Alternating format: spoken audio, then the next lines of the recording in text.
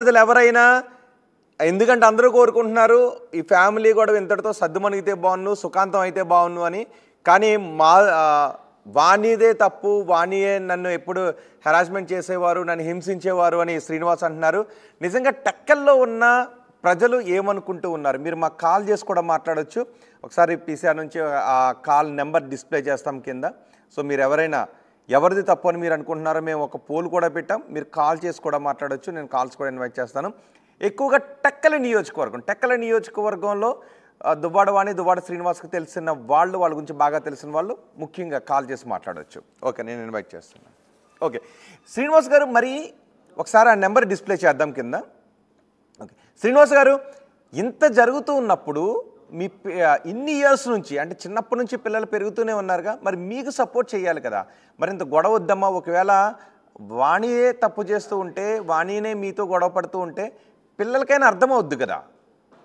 అంటే విషం పోసారు విషం మాటలు పెంచారు మీరేమో మహాభారతం రామాయణం చెప్తూ ఉంటే ఆమెమో విషం పోసారు అని మీరు చెప్తున్నారు. కానీ అర్థమవుద్ది కదా చూసేటప్పుడు అర్థమవుద్ది కదా. సార్ ఇప్పుడు పిల్ల నేను ఉదయం ఏడు ఎనిమిది గంటలకల్లా బయటకు వెళితే మళ్ళీ రాత్రి పది పదకొండు గంటలకు వచ్చేవాడు సార్. అంటే ఈ ప్రజా జీవితం. నేను ఓడినాడు గెలిచిన్నాడు ఎప్పుడు కూడా ప్రజలతో ఉండటం నాకు అలవాటు. అది నా ధ్యేయం.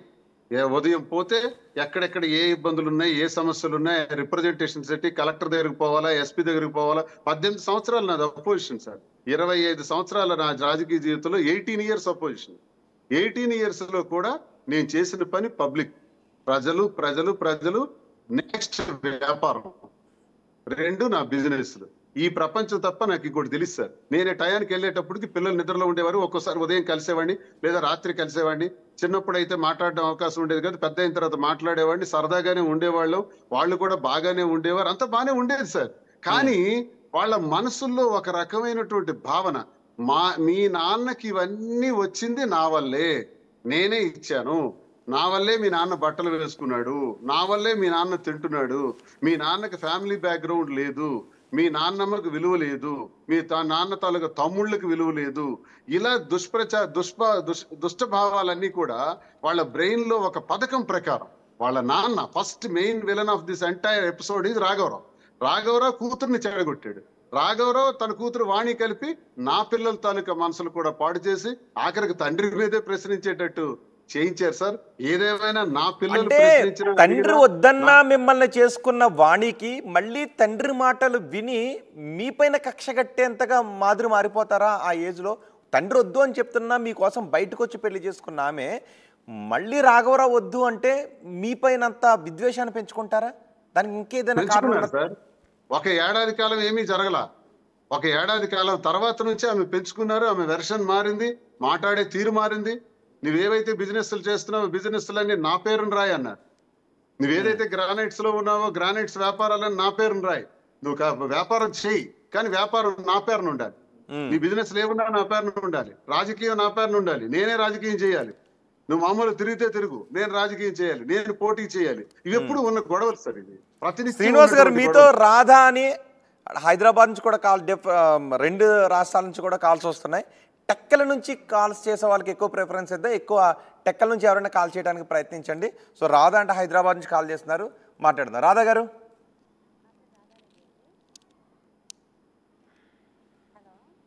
రాధా గారు.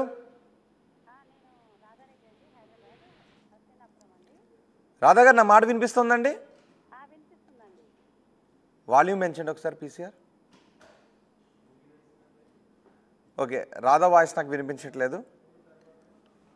ఎస్ శ్రీనివాస్ గారు సో ఇంతవరకు వచ్చిన తర్వాత అసలు ఈ సమస్య ఎలా సాల్వ్ అవుతుందని మీరు అనుకుంటున్నారు? పదకొండు రోజుల నుంచి ఆవిడ ఇంటి ముందు ఉన్నారు మీరు ఇంటి లోపల బయటకు వచ్చారా ఇంటి ఇంటికి బయటకు వచ్చారా గడ తీసుకుని మీరు ఏమన్నా నేను బయటకు వెళ్తే గొడవలు పెట్టి న్యూసెన్స్ చేసి నన్ను మళ్ళీ కేసుల్లో ఇరికించేందుకు ఎత్తుగడ చేస్తున్నారు సార్ వాళ్ళు. చాలా క్రూయల్ మెంటాలిటీ. మీరు అనుకున్నటువంటి ఆషామాషి క్యాండిడేట్ కాదు సార్ తను. చాలా టెక్నికల్గా నేను బయటకు ఎందుకంటే అధికార పార్టీ సపోర్ట్ అనుకుంది. ఓకే ఆ సపోర్ట్తో నేను ఇప్పుడు అపోజిషన్లో ఉన్నాను. ఎక్కడ నేను దొరికితే ఆ దొరికిన పాయింట్ మీద వాళ్ళు నన్ను దెబ్బతీయాలని చూస్తున్నారు.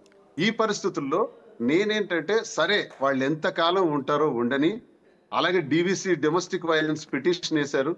మరోవైపు నా మీద గృహహింస కింద చట్టం కింద నా మీద కంప్లైంట్ ఇచ్చారు. నేను కూడా నోటీస్ ఇచ్చాను.